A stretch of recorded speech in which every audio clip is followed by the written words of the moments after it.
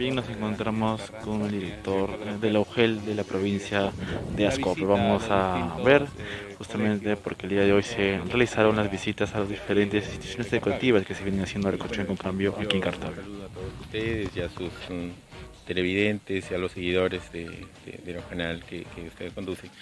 Sí, el día de hoy hemos programado, mm, como parte del equipo de la, de la UGEL verificar algunas instituciones educativas que están siendo intervenidas y el día de hoy nos ha tocado visitar este, el distrito de, Santiago de Cao.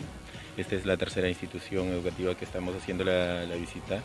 Y en el recorrido observamos pues, eh, que en cada una de ellas hay un nivel de avance distinto, naturalmente en función del periodo de, adjudicación.